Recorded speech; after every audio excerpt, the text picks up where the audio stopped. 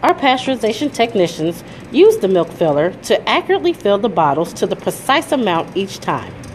The filler is calibrated for each of the batches we process. In this case, we are processing our 2 ounce bottles.